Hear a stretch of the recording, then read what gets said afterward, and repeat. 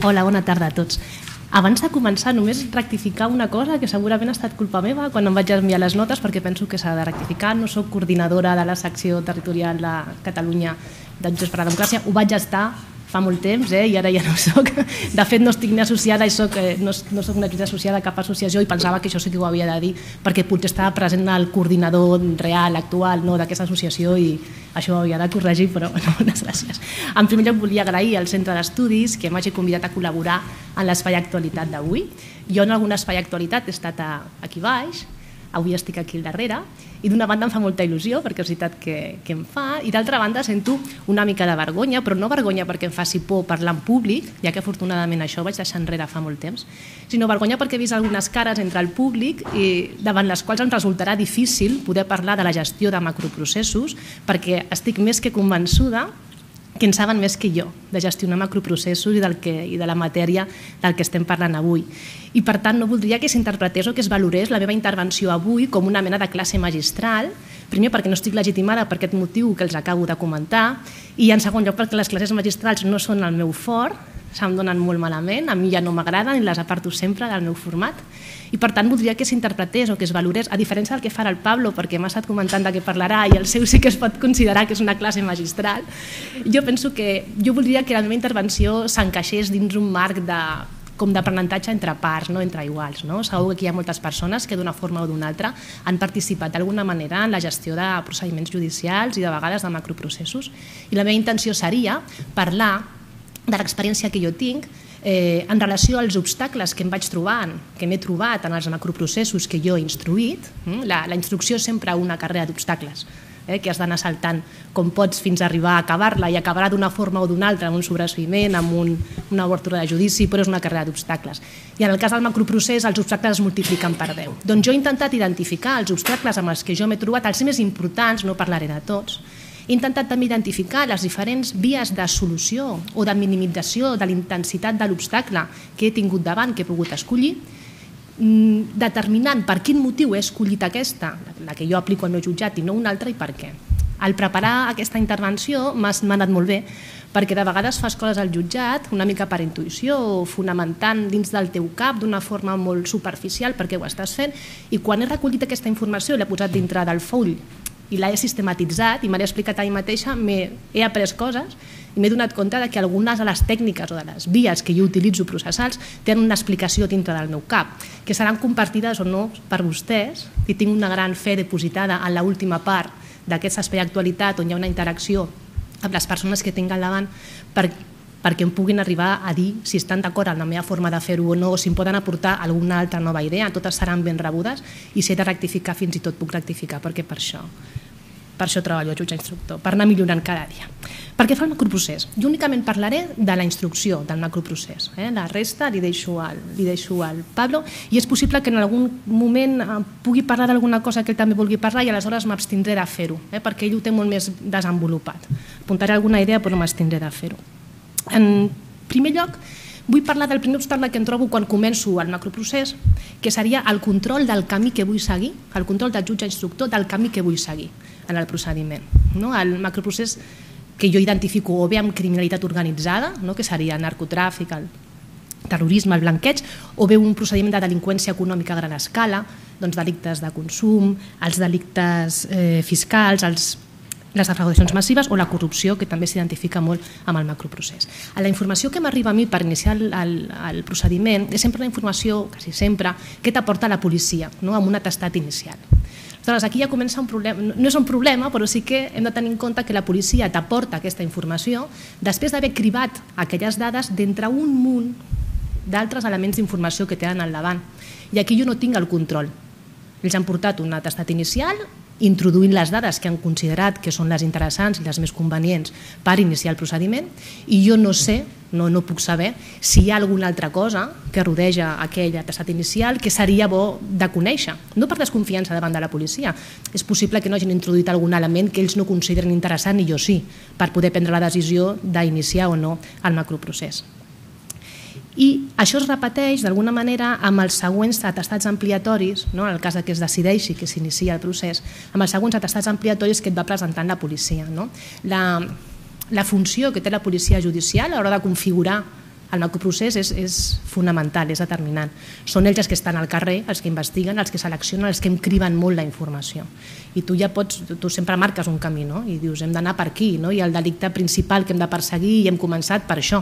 Però sempre tot s'acaba complicant, sempre s'acaben introduint delictes nous, persones noves, normalment en qualitat d'imputat, i el, el tenir el control d'aquest camí de vegades és difícil Mm? La, el, vot amb la, o sigui, el, vot de confiança davant de la policia jo el tinc, no? perquè si no no podria treballar i no és que estigui pensant que la policia m'amaga coses o que introdueix coses que no hauria d'introduir, però sí és possible que no hagin introduït en el procediment algun element que jo consideraria que sí és prou important com per introduir-lo, o bé eh, que hagin deixat fora un altre i hauria de ser a la inversa. No? Llavors, jo el que faig, i potser sóc una mica pesada amb ells, és estar molt a sobre de la investigació policial. Estic molt a sobre. No m'agrada començar un procediment, per exemple, amb una interlocutòria de secret i una interlocutòria d'intervenció telefònica, deixar que la intervenció telefònica vagi sola fins s'acaba el mes del secret i la intervenció, t'aporten un altre ampliatori, nova petició, una altra interlocutòria de secret prorrogant-lo, una altra interlocutòria d'intervenció telefònica, passa un altre mes i és com si el procediment estigués anant sol amb el control de la policia no sense que tu tinguis mm, massa poc a dir, excepte la reunió que s'estableix quan et volen demanar l'altra intervenció o la pròrroga del secret.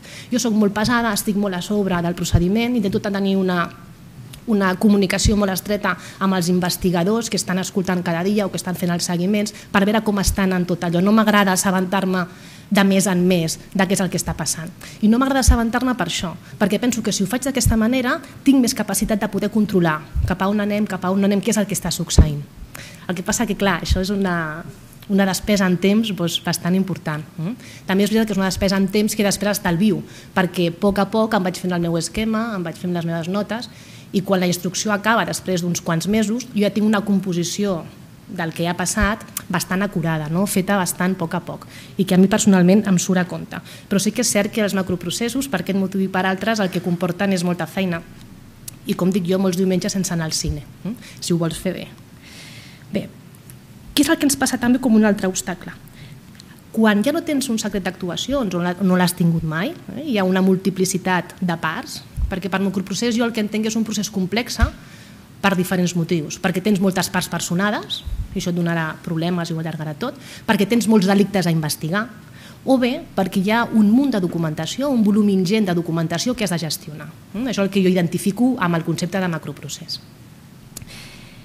Com tens moltes parts personades, hi ha moltes peticions que has de resoldre. Mm, peticions que venen de diferents advocats i a les que els has de donar una resposta el més ràpidament possible. Eh, al dia és impossible resoldre, un cop cada dia, jo el que faig és resoldre cada pocs dies, 3, 4, 5 dies, al principi de tot, sobretot quan hi ha més peticions de, de les parts. Eh, I el que intento fer, com a via de solució, clar, jo podria donar una resposta interlocutòria eh, a cadascuna de les peticions o fer una mena de resolució una mica més comú en el que, en el que, pugui, en el que pugui. Clar, és molt ideal des del punt de vista de la qualitat agafar petició per petició i resolució per resolució. Em sembla que sigui com la forma més acurada de fer-ho. El que m'està passant és que si el que s'està demanant són coses molt semblants, els recursos se'n multipliquen contra diferents resolucions judicials. Aleshores, intento concentrar en una mateixa interlocutòria, en una mateixa decisió, aquella resposta a diferents eh, peticions, de manera que quan es presentin recursos, es poden presentar cinc recursos, però seran cinc recursos només contra una interlocutòria i això em facilitarà bastant la tramitació a l'oficina. Mm? Es pot fer també de l'altra manera i segurament doncs, li dona més qualitat, no fer cinc interlocutòries per cinc peticions, una per cada part. Però jo en faig una, si puc, eh, en tot, tot allò que pugui unificar, en faig una i en, com a mínim em dona la sensació de que estic agilitzant bastant en aquest àmbit la instrucció del procediment. L'altre problema que tinc, l'altre obstacle que tinc és eh, l'allargament, la dilació en la pràctica de diligències per exemple, i un problema que tinc ara molt important, la diligència d'anàlisi, de, de clonatge i d'anàlisi de la informació que hi ha a suports informàtics, a suports digitals. Mm? En un procediment concret, on tu intervens un suport informàtic, per exemple un ordinador, la diligència de copiatge, de copiar la informació que hi ha a l'ordinador i després analitzar-la és una diligència relativament senzilla. En temps ens allargarem el que tardi el meu procediment cronològicament a arribar al seu torn a la policia científica. Però un cop el tingui la policia científica, aquesta diligència és relativament ràpida. En un macroprocés on hi ha moltes parts i moltes entrades i escorcolls, per exemple, on s'arriben a intervenir molts ordinadors, jo tinc un procediment ara mateix on em sembla que tenim 96 ordinadors, és una barbaritat, eh? 96 ordinadors, on òbviament la informació que hi ha en aquests ordinadors no tota és vàlida pel procediment però és el que ha passat, ha passat així, s'ha arribat allà, s'han emportat tots els suports informàtics i ara tenim un problema. Tenim un problema primer perquè no és una causa emprès i ja trigarem molt a arribar al moment en què li toqui el torn al meu procediment, però és que quan li toqui el torn podem estar perfectament dos anys. No, no ho estarem, eh? Jo he optat per una sortida, jo no puc permetre ni jo ni ningú el luxe d'estar dos anys copiant tot el que hi ha a un ordinador i analitzant tot, 96 ordinadors i analitzant tot el que hi ha tota aquella informació dels 96 ordinadors. El, el tema de la tecnologia, des d'aquest punt de vista, ens està perjudicant, entre cometes, perquè ara qualsevol informació que hi ha a un dispositiu digital o informàtic és, és bestial, no? la, la memòria és molt gran i podem acumular moltíssima informació en dispositius molt petits. Eh, què és el que passava fins ara? El que jo feia sempre era copiar tota la informació que tenim aquí, ens quedàvem una còpia de la informació copiada, li tornàvem l'original al seu titular i amb la còpia fèiem l'anàlisi de la informació i s'arribava a les conclusions que fossin del que hi ha dintre o el que no hi ha dintre per part de la científica, per part meva. Clar, quan tenim 92, no cal que siguin 92, 96, només que en tinguem 20 d'elements informàtics, seria necessari o seria convenient primer entrar a veure què és el que hi ha, no copiar directament, sinó entrar a veure què és el que hi ha, fer una selecció de la informació que pot ser necessària pel procediment i només sobre aquella informació fer, la, fer el copiatge i després l'anàlisi. Clar, això pot comportar problemes, no? és com una forma de treballar que a mi no m'agrada massa. I de fet, quan m'ho van proposar la primera vegada em vaig tirar una mica enrere perquè vaig pensar que això podria donar problemes. Una cosa és que tu copiïs tota la informació i que amb la còpia facis l'anàlisi, la qual cosa li dona la garantia a l'advocat de la defensa, en aquest cas, no? l'advocat de la persona titular del, del dispositiu, que el que jo estic analitzant i el que jo tinc és només el que té ell, que no hi ha ni de més ni de menys, i una altra cosa és que jo determini, que a més no ho faig ni jo la determinació, perquè l'acaba fent la policia, que es determini què és el que es considera interessant per procediment. Perquè és possible que jo hagi optat per agafar aquesta part, aquesta part i aquesta part de la informació de l'ordinador li torn, copi només aquestes tres parts, li torni l'original al titular i el titular, l'advocat de la defensa, em digui, miri, aquesta primera part, amb la que vostè arriba a la conclusió que el meu indefensat és autor del delicte, si el posem en connexió amb una altra part que vostè no ha copiat i que jo tinc aquí a l'original, ens dona una resposta completament diferent a la conclusió policial o a la conclusió a la que vostè està arribant. És a dir, la informació és sesgada, la que tinc jo al jutjat, fent-ho d'aquesta manera però sí que és cert que si no faig una criba inicial estic dos anys per poder, per poder analitzar el contingut dels ordinadors. Aleshores, el, que he fet, segurament el que jo estic explicant hi ha gent que té la solució mm, més senzilla, o el Pablo, per exemple, no? i, i me l'haurà d'explicar. no la tienes? És mal. El que jo vaig fer va ser parlar amb, els, amb la policia científica de l'àmbit de la informàtica i demanar si era absolutament possible, no? si era possible, si era científic, que la manipulació que es fes de l'original, que jo li torno a la part, si hi hagués alguna manipulació en aquest contingut de l'ordinador, si això deixaria un rastre informàtic per intentar salvar la possibilitat de que la defensa introduís nous elements que m'aportés després dient això no ho ha copiat, però això és molt important perquè exculpa a l'imputat. Això és, això és, és bàsic, no? el poder garantir que el que tinc jo és el mateix que té ell i que podrem contrastar i que tenim el mateix. I em van fer, em van dir que sí per telèfon, em van fer un informe molt, molt tècnic, amb uns noms molt estranys, amb unes figures molt rares, però que al final el que m'acaba dient és que si hi ha alguna manipulació, alguna introducció o alguna eliminació, manipulació de qualsevol tipus, en el dispositiu original seria possible poder determinar-ho així perquè allò deixa un rastre. Aleshores, amb aquest informe, amb la seguretat que m'ha donat a mi aquest informe de la policia científica, he fet una interlocutòria eh, establint que el que primer es farà serà treure el cap per veure què és el que hi ha dintre d'aquests ordinadors, seleccionar aquella informació que pot ser adient per esclarir els fets del procediment, de la instrucció, i només copiar aquella part de la informació que es considera interessant, no copiar-ho tot. Però sí que és, reconec que és una tècnica nova, bueno, és una forma nova d'actuar que estic aplicant ara i que no sé exactament com sortiran i quins problemes donaran al futur, perquè segur que donarà problemes. No? El macroprocés es, característica per, es caracteritza per donar problemes contínuament. Això és l'allargament, això se m'allarga la pràctica de l'higiene, és impossible acabar, acabar l'anàlisi de la informació digital en un temps una mica raonable. I a més a més aquí jo no, no puc fer res, o sigui, és un tema en el que el jutjat no pot incidir de cap manera. I d'altra banda també tinc una dilació en les, en les dates de les declaracions testificals i d'imputat, de qualsevol declaració que es faci al jutjat. Per què? Perquè si no hi ha causa en pres, que quan hi ha causa en pres n'anem tots volant i ningú no posa cap impediment, quan no hi ha causa en pres i hi ha moltes parts, en qualsevol declaració, si, les vols, si la vols senyalar amb una mica de temps curt, no? en un curt temps, en un curt, en un curt termini, sempre hi ha alguna part que no pot venir, que demana la suspensió. No? Això la gent que treballa aquí a les oficines judicials ja ho sap.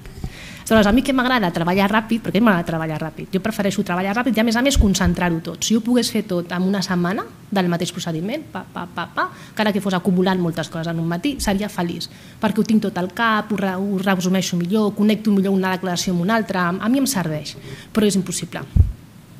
I és impossible fer-ho en un curt termini. Si ho poses en 15 dies, en un mes, en un mes i mig, sempre hi haurà algú que demana la suspensió. Clar, en un procediment individual és possible que trobis un únic advocat que et demani suspensions, per exemple, perquè l'advocat treballa molt, i això ens passa. Un advocat treballa molt, és l'única part del procediment, li poses un dia, demana la suspensió, li poses un altre dia, li demanes la suspensió, i estàs obligat a suspendre. No, no, aquella persona té dret a estar allà defendent els interessos del seu client. Però clar, amb un únic advocat el que podem arribar sempre com a cosa, dir, bueno, si vostè té aquest judici que li dura tres mesos, quan acaba el judici? O com té vostè l'agenda? Jo penso que demanar-li a un advocat que treballa molt i que t'ha demanat dues suspensions, com té l'agenda, no rebaixa la meva dignitat com a jutge d'instrucció i es tracta una mica de ser pragmàtic i d'intentar acabar el més aviat possible amb les provisions suspenent i tornar a assenyalar. Amb un procés impossible, perquè no li puc demanar a vuit advocats i vuit encara són pocs, com tenen l'agenda i quan els hi va bé que els hi posi la declaració. Aleshores, l'única sortida possible que tinc aquí és posar declaracions a molt llarg termini a molt llarg termini i creuar els dits perquè d'aquí tres mesos, quan he assenyalat la declaració, no tingui ningú una causa empresa aquell dia que li senyalin després i que m'obligui també a suspendre. Però aquesta sí que és veritat que és una part, un obstacle del macroprocés que no tinc tampoc forma de solucionar més enllà que d'això, d'assenyalar amb molt temps de, de diferència i esperar a tenir sort. Perquè fa el nombre de delictes, no? els, els problemes que els obstacles que tinc davant el nombre de delictes que creixen i creixen al macroprocés. Aquí potser toc una miqueta, em baixo, em baixo una miqueta una part que el Pablo volia tocar i per tant ho faré molt curt. Hm?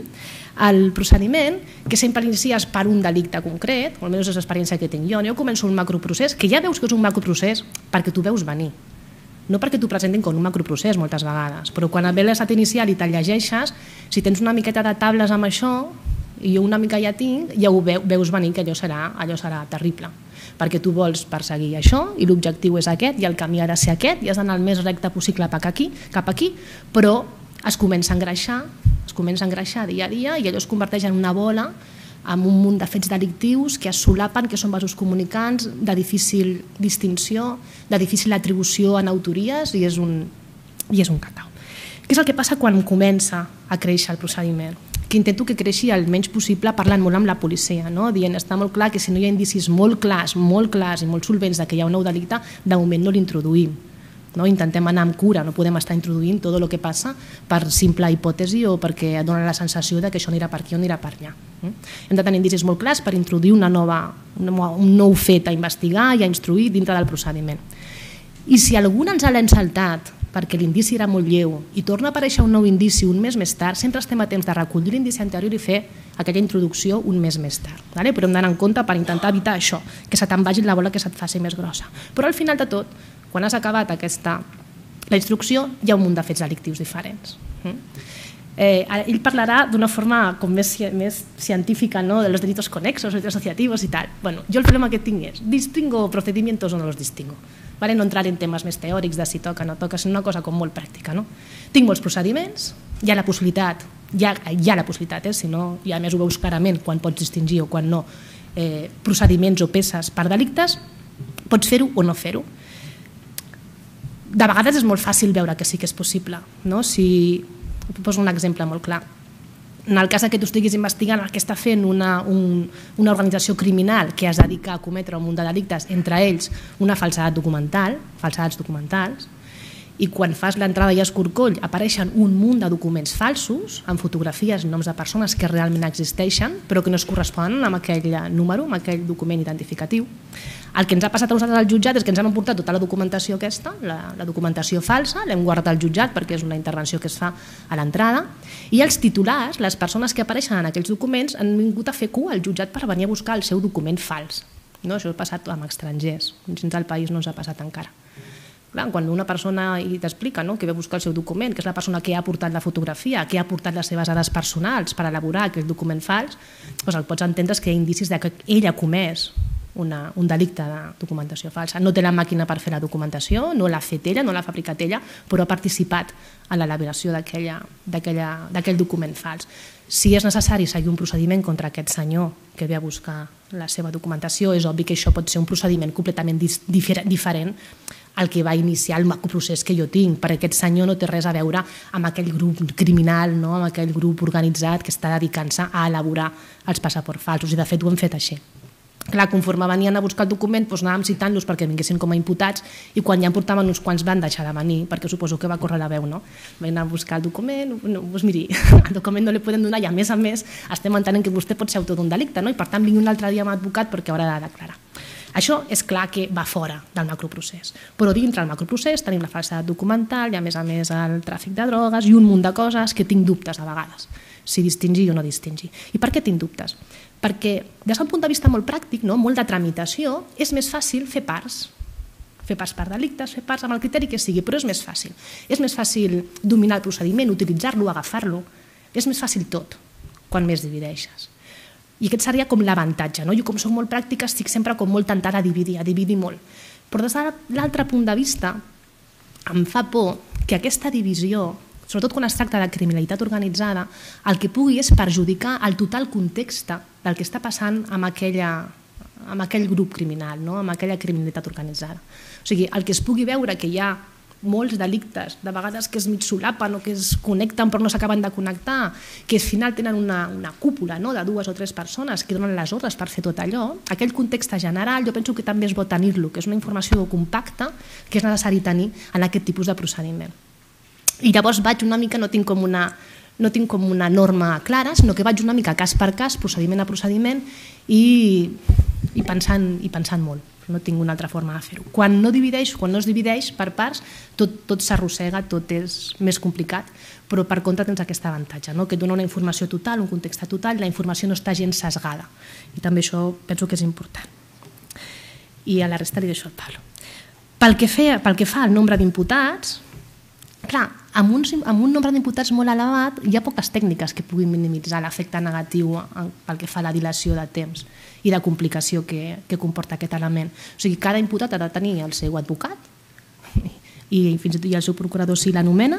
Cada imputat pot demanar el que vulgui demanar, pot recórrer tot el que pot recórrer i amb un tema de garantia de defensa no es pot, no es pot fer cap tipus de limitació, òbviament.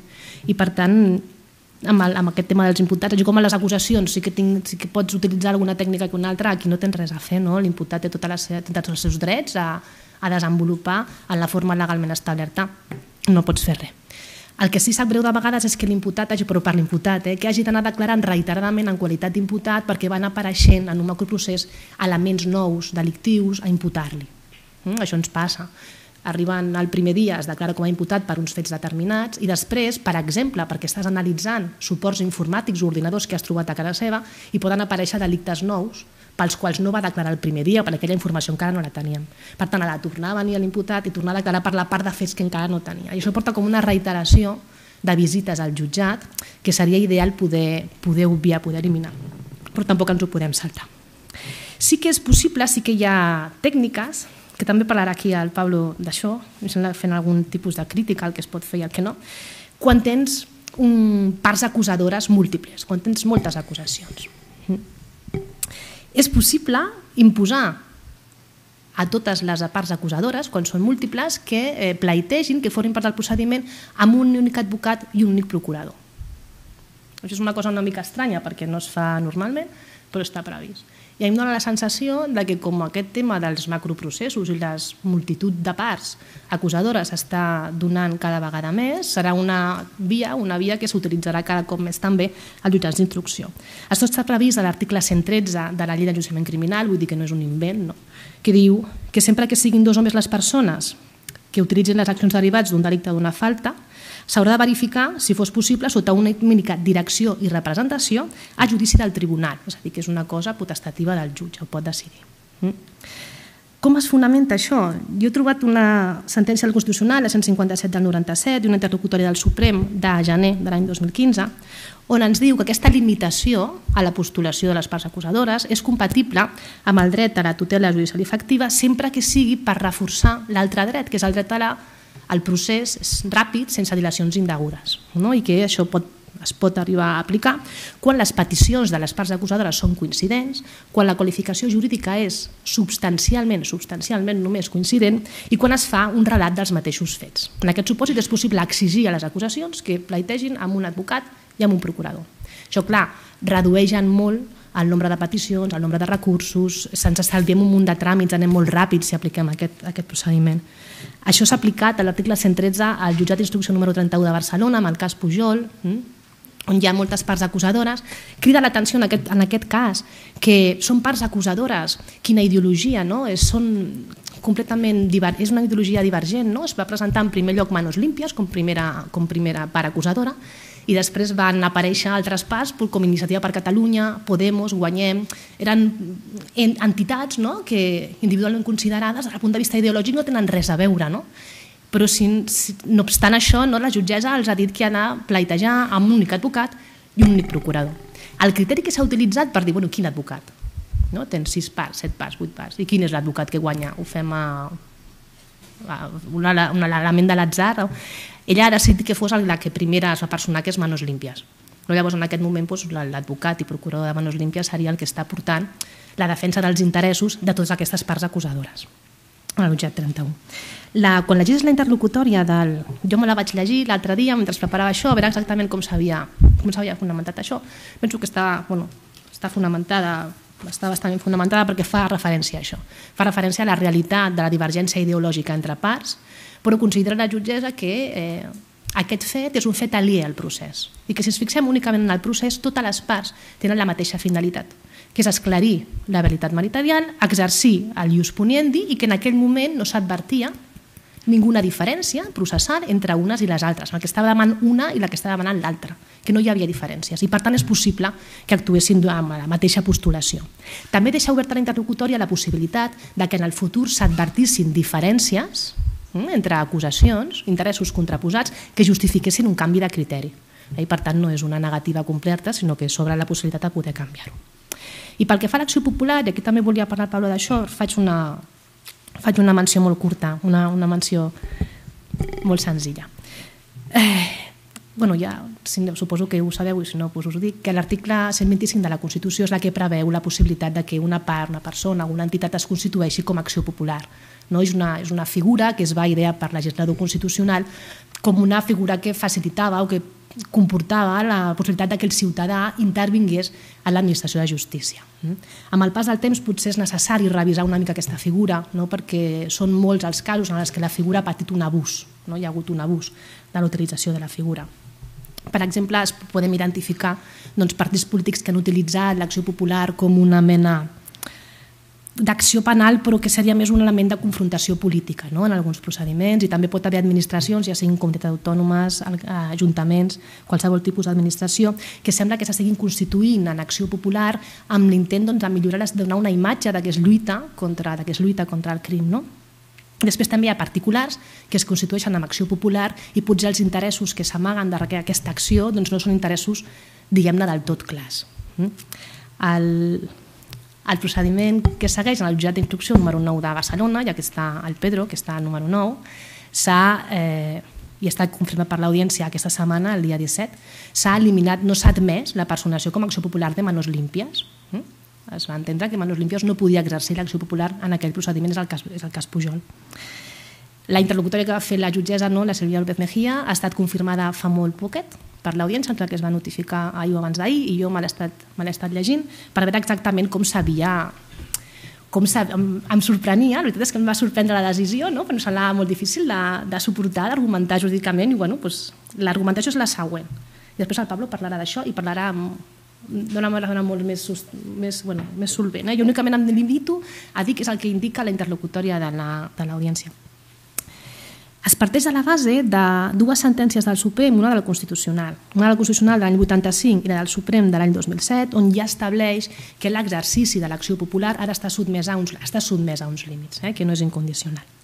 I la sentència del Suprem de 26 de febrer de l'any 2013 indica que quan l'entitat que es vol personar com a acció popular és una entitat de naturalesa pública i no és directament ofesa o perjudicada per delicte, pot no ser acció popular, pots expulsar com a acció popular. És a dir, quan l'entitat que es vol personar al procediment com a acció popular no és directament ofesa o perjudicada, no ho pot fer, perquè s'entén que el Ministeri Fiscal ja defensa els interessos generals.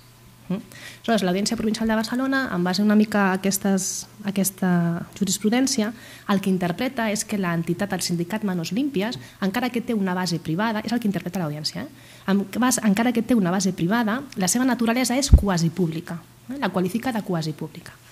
Per què? Doncs perquè està composada per funcionaris públics i perquè actua a l'àmbit de l'administració pública eh? i realitza una activitat sindical. Això li uneix al fet de que no és una, directa, una directament perjudicada o ofesa pels delictes que s'estan que s'estan investigant, que, que són objecte de la instrucció, i per tant no s'admet la seva personació com a acusador, com a acció popular. Jo no sé això si aquesta via prosperarà, si es pot arribar a repetir o no en altres procediments, si s'arribarà a confirmar del tot, però sí que és veritat que és una cosa molt novedosa i que a la vista de la quantitat de procediments el que Manos Límpies està personat ara mateix com a acció popular doncs pot tenir un efecte dominó. No ho sé eh, si passarà o no, però podria tenir. I passo i deixo això de banda. Pel que fa a l'obstacle del volum documental de la causa, mm, un problema que jo tinc al jutjat, que és molt de... I aquí està l'Ignacio, que està al meu jutjat i que, ten, que, que sap de què estem parlant, és el problema de, del volum, d'haver d'utilitzar toms i toms de documents.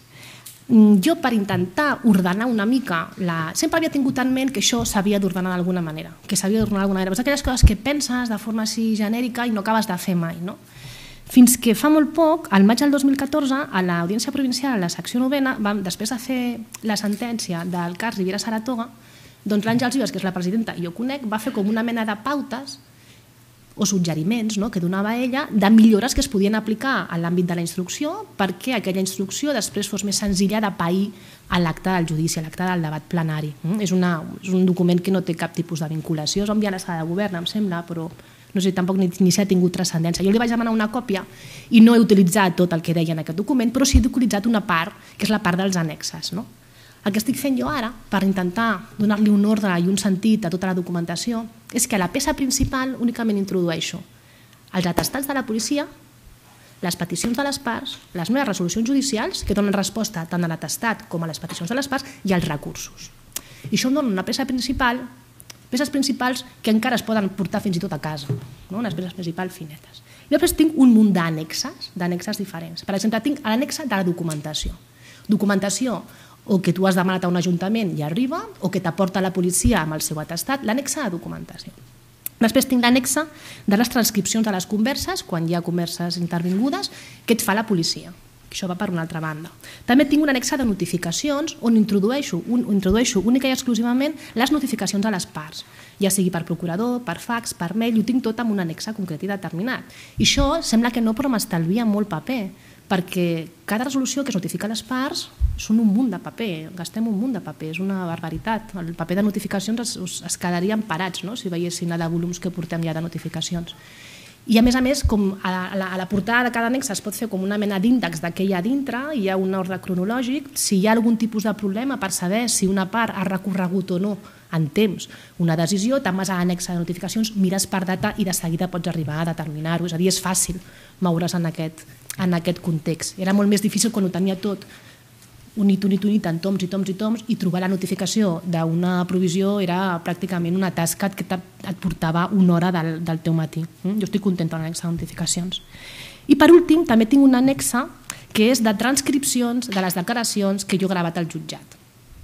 I aquí faré com un petit apunt amb el que estic segura que no estic d'acord amb el Pablo, però bueno, de eso se trata, de, de que hi ha debate.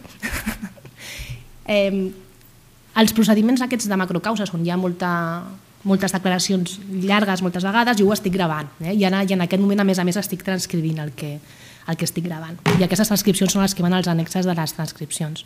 Hi ha un... Com, no és ni tan sols un conflicte, no? hi ha una forma diferent de veure les coses ara mateix entre companys. Vale? Hi ha uns companys que entenen que, que gravar és, és perjudicial pel procés, no? bueno, perjudicial. Doncs que és millor no gravar o, o gravar i sempre transcriure, i una part de companys entre la que jo m'incloc que entenc que només s'hauria de gravar vale? i que, no, que la transcripció que no, que no s'hauria de fer. Jo, jo entenc que la gravació és fonamental, vale? i és fonamental per dues coses. En primer lloc, perquè és l'única manera en què tu pots arribar a percebre si aquella persona és o no convincent quan t'explica alguna cosa, i és, això no ho pots suplir de cap manera amb una transcripció, amb una declaració recollida per escrit. En segon lloc, perquè no crec en els resums que es fan, quan el resum que fa el jutge o que fa el funcionari, sigui, com, sigui quan, la forma que utilitza cada jutjat, perquè el resum no s'ajusta mai o quasi mai al que està dient el, el declarant. I en últim lloc és, una, és un raonament una mica més de tipus tecnològic. No? Jo penso que, no, que, és, que estic convençuda de que d'aquí uns anys, quan mirem enrere i veiem que estem parlant d'això, si s'ha de gravar o no gravar, si s'ha de transcriure el que s'ha gravat, ens semblarà ridícul. Estic convençuda que ens semblarà ridícul, però en aquest moment el conflicte hi és. Mm? I si s'ha de transcriure, doncs es transcriu i ja està. Com podem solucionar la pèrdua de temps que pot arribar a comportar, que jo tampoc la veig però accepto que algú entengui que és una pèrdua de temps, que pot arribar a comportar al visualitzar una gravació? Doncs amb un bon sistema informàtic, amb una bona ressenya del minut i segon en el que parla cadascuna de les parts, i una agilització en el sistema que permeti una buscada, una buscada ràpida de la part que tu vols. El que hem de lluitar és per aconseguir això. Jo ja sé que és un tema de mitjans, no tenia la intenció de venir aquí a fer una queixa de tema de mitjans perquè és un tema que tinc molt superat. Sé que no hi ha mitjans, que no hi ha pressupost i que no ens els donaran. Però si hem de lluitar per alguna cosa és per això. El que no podem fer és tirar enrere i posar-li, com diuen en castellà, puertes al campo. Vull dir, aquí tenim la possibilitat de gravar i l'hem d'utilitzar. I l'hem de millorar en, en tot el que puguem. Però ja dic que jo acato el que hagi d'acatar i si he de transcriure, transcric. Però no em sembla que sigui... Penso que la lluita és una altra que està en un altre, que està en un altre àmbit.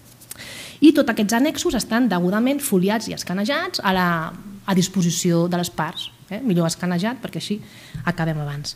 Per, per foliar escanejat doncs, estem utilitzant el jutjat els, els, les persones que estan fent treballs a benefici de la comunitat i ens estan anant molt bé. Eh? És que és una ajuda, és una ajuda bastant important. Ara em sembla que en tenim un parell fins i tot, no? perquè els utilitzem molt i estic molt contenta amb el resultat. I per últim, com a últim obstacle, per quan ens hem repartit el, el, el, les parts que, de les que parlaríem avui vam dir que parlaríem dels intèrprets i faré només res, dos pinzellades en relació als intèrprets. Els problemes que tinc jo amb els intèrprets, no, no amb els intèrprets individualment considerats, pobres, eh, sinó amb la, el que comporta la intervenció d'intèrprets a les declaracions. En primer lloc seria l'adequada interpretació. No? En, algunes, en alguns casos jo he tingut sospites de que la interpretació no està sent correcta, que la qualitat de la interpretació no és bona, és cert que només he paralitzat, suspès una, una declaració en un, un cop per això, perquè és que la persona que m'estava interpretant no m'entenia a mi en castellà. Llavors vaig pensar que esto no, això no era seriós i la vaig suspendre. A la resta hem tirat endavant i les hem anat fent, però sí que només en alguns casos, però són casos preocupants perquè es pot tractar d'un imputat, la interpretació jo penso que no és bona, encara que no puc assegurar el 100% perquè normalment no parlo a l'idioma del que es tracta. Vale? El segon problema que tinc amb la interpretació és que el que ens està passant als macroprocessos on molts imputats intervenen i parlen per telèfon, quan hi ha intervencions telefòniques, és que hi ha idiomes que són molt llunyans, que resulten molt llunyans, molt distanciats del meu idioma, on jo no puc arribar a fer una identificació de qui està parlant, encara que el senti tres o quatre vegades, per exemple el xinès. No? És possible que un... sigui l'intèrpret el que finalment acabi decidint que aquest senyor que he sentit avui, abans d'ahir i la setmana passada, en el dia tant, la conversa tant, és la mateixa persona. Jo sento algú parlar en català, en castellà, o fins i tot en anglès o en francès, amb un idioma similar, puc distingir. Pel timbre de veu, per les expressions, perquè s'utilitza sempre aquella paraula, perquè hi ha molts elements no? que no tenen a veure amb la idea que comuniques parlant, que un, són elements perifèrics que donen, que donen una idea de que aquella persona és sempre la mateixa. Quan és un idioma molt llunyà al meu, jo sóc, jo sóc incapaç de fer-ho, llavors tens a, has de delegar una mica aquesta decisió en l'intèrpret. No? I això pot donar problemes perquè pot passar que després, un cop conegudes totes les intervencions telefòniques, eh, defenses aleguin que el que es va entendre que aquell dia, a aquella hora, parlava el seu client no és el seu client, sinó que és una altra persona.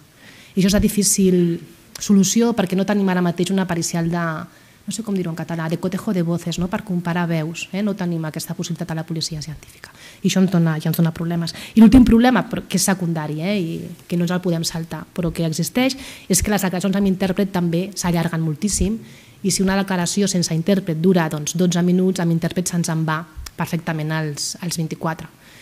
I aquí ja, si gravem la declaració, doncs l'efecte és menor i si no la gravem i l'hem de copiar, doncs ja ens n'anem perfectament a la mitja hora, no? una declaració amb un intèrpret.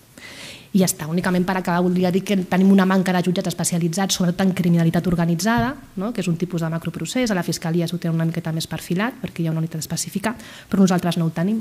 Només a l'Audiència Nacional hi ha una competència específica per matèria i no inclou tots els tipus de criminalitat organitzada, no? i que potser seria bo una formació específica i uns mitjans específics per poder tirar endavant aquests procediments tan complexes. Res més i moltes gràcies.